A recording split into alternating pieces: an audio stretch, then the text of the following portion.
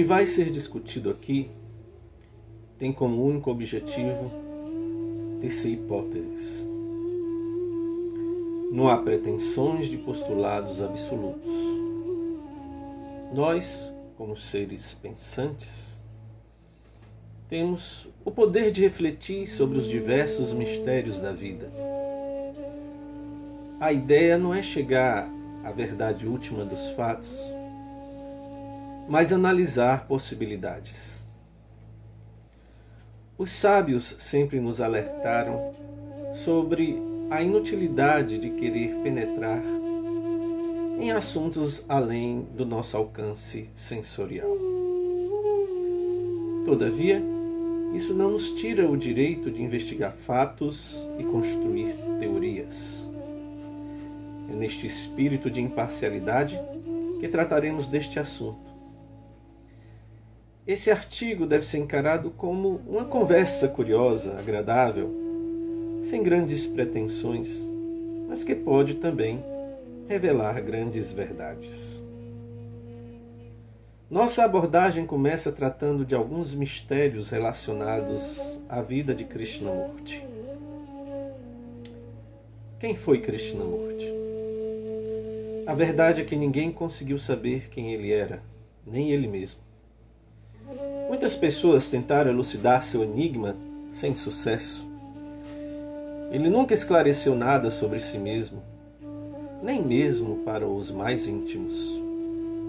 Ron Landau, em seu livro God is My Adventure, teve várias conversas informais com Krishnamurti e questionou-lhe acerca de sua identidade e missão. Novamente, Não esclareceu. Muitas pessoas já haviam perguntado se ele era o instrutor do mundo, uma espécie de Messias da nova era. Ele nunca afirmou nem negou.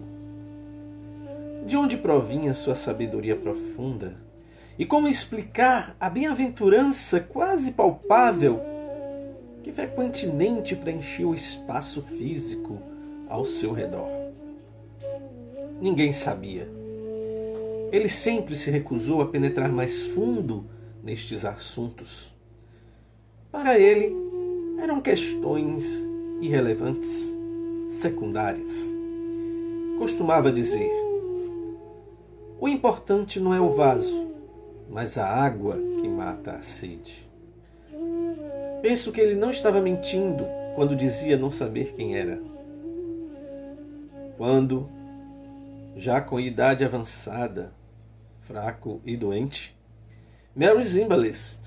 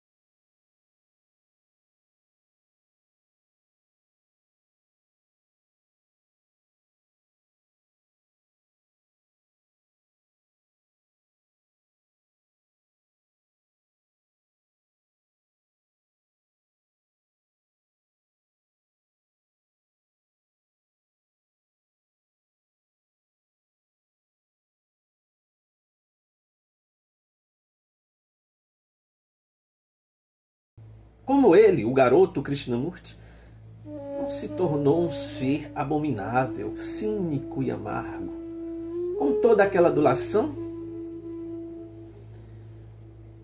Este vazio nunca desapareceu, desde a infância até hoje, 80 anos ou mais. A mente deste homem está constantemente vazia. Ou seja, Krishnamurti nascera com a mente desprovida do sentido do ego. E isso já se manifestava muito antes dos anos de treinamento da sociedade teosófica. Daí vem a conclusão óbvia. Se ele nasceu iluminado, então veio em uma missão específica. Os budistas chamam tais seres de arahats ou bodhisattvas, seres libertos reencarnados na Terra para ajudar a humanidade em sua elevação espiritual. É de conhecimento geral que Krishnamurti possuía poderes extrasensoriais. Uma de suas biógrafas, Apupu Jayakar, descreve o período em que seus chakras se desenvolveram plenamente e como ele fora assistido por seres celestiais, os chamados spotless, os puros, os imaculados. Outro grande mistério é que Krishnamurti, quando criança, costumava encontrar-se com os mestres em viagens astrais. Ele nunca negou nem confirmou a existência destes seres celestiais. Mas, já adulto, relatou como foi a última vez em que viu o Mestre. Kai estava meditando quando percebeu a presença física do Mestre sentado em posição de lótus na porta do seu quarto. Kai decidiu ir até ele, mas quando chegou muito próximo, quase tocando, ele desapareceu e nunca mais K ouviu novamente. Todavia, ao longo de sua vida, continuou sentindo a presença abençoada de algo ou alguém. Em seu diário, K descreve como esta presença sempre o acompanhava e como este fenômeno era sentido por outras pessoas. É importante frisar que Krishnamurti nunca negou a existência dos verdadeiros mestres, mas apenas daqueles mestres da teosofia humanos demais, que se prestavam a certos papéis, como, por exemplo, fazer pose para fotografias. Sua vida foi acompanhada e vigiada por seres cuja natureza e compreensão está muito além da capacidade humana. Cá dizia que havia um outro, uma espécie de presença que o protegia, planejava e decidia muitas coisas em sua vida. Mas quem era este ser misterioso?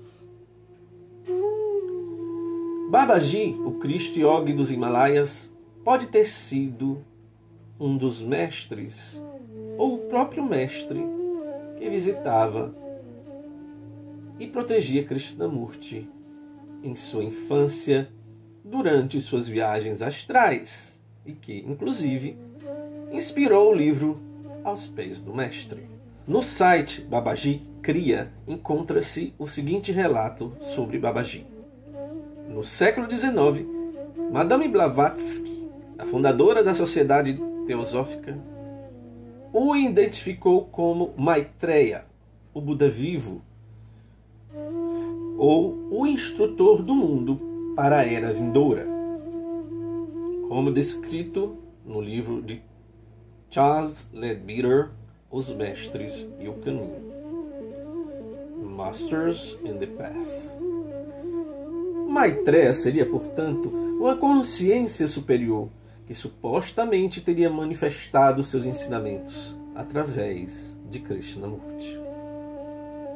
Não sou teosofista e não estou defendendo a existência de mestres espirituais da nova era. Mas, na biografia de Krishnamurti, o que não faltam são relatos e menções aos mestres e a alguém em específico que o acompanhava ao longo de toda a sua vida. A verdade é que quase não existem informações seguras sobre Babaji. No site Babaji Kriya Yoga há algumas referências biográficas e ensinamentos que teriam sido repassados pelo próprio Avatar a duas pessoas, conforme o relato abaixo. No sul da Índia, Babaji preparou, desde 1942, duas almas para a tarefa de disseminar sua Kriya Yoga. S.A.A. Ramaya, um jovem estudante, graduado em Geologia na Universidade de Madras, e V.T.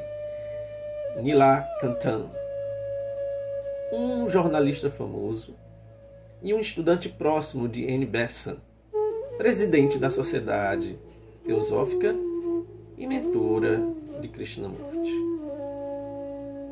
Babaji apareceu a cada um deles independentemente e então os reuniu a fim de trabalharem para a missão. Em 1952 e 1953, Babaji editou três livros a V.T. Nilakantan, A Voz de Babaji e o Misticismo Revelado. A Chave Mestra de Babaji para Todos os Males e A Morte da Morte de Babaji. Babaji revelou-lhes sua origem, sua tradição e sua Kriya Yoga. Já no livro Autobiografia de um Yogi, de Paramahansa Yogananda, ele diz que a elevação espiritual de Babaji está além de nossa compreensão. Obviamente, seres como ele devem ser universalistas e apartidários. Agem muitas vezes de forma anônima e podem, inclusive, usar outros nomes. Surgem em diversas épocas, usando formas e estratégias diferentes de acordo com a cultura e o tempo. Seu trabalho deve ser amplo e vasto, não se restringindo a um movimento religioso ou organização específica, como por exemplo aquela fundada por Yogananda nos Estados Unidos. Babaji é uma das manifestações da consciência suprema nesse plano material, assim como Jesus e Buda. Através dessas manifestações humanas, tais seres de luz tentam lembrar-nos de nossa origem divina, o que é confirmado por Krishna no Bhagavad Gita, quando diz: Sempre e onde quer que haja um declínio da religião e uma ascensão predominante de irreligião, então eu próprio desço para salvar os piedosos, aniquilar os canalhas e estabelecer os princípios da verdadeira religião. Eu próprio advenho milênio após milênio. Ao longo dos anos, séculos e milênios, é natural que a originalidade e a pureza do Dharma, a verdade universal, se perca devido a uma série de fatores históricos acidentais e ações intencionais. Não será plausível que mestres como Babaji, Buda e Jesus trabalhem para restabelecer a originalidade dos verdadeiros ensinamentos? A vinda do instrutor do mundo nesse final de milênio estaria, portanto, relacionada ao nascimento de vários seres de grande luz e sabedoria, tais como Krishnamurti, Ramana Maharshi, Lahiri Mahashaya, Shri Yukteswar, Shri Aurobindo, Ramakrishna, Yogananda, Padre Pio, Humberto Roden, dentre outros.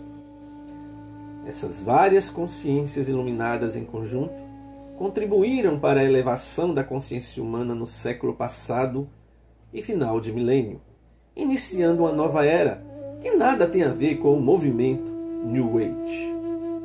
O que foi exposto acima é apenas uma explicação possível para alguns acontecimentos inexplicáveis em torno da vida de Krishnamurti. JK teria sido apenas uma espécie de porta-voz, um canal dessa consciência elevadíssima chamada Maitreya? Ou será apenas Babaji? Texto e locução de Alcibar.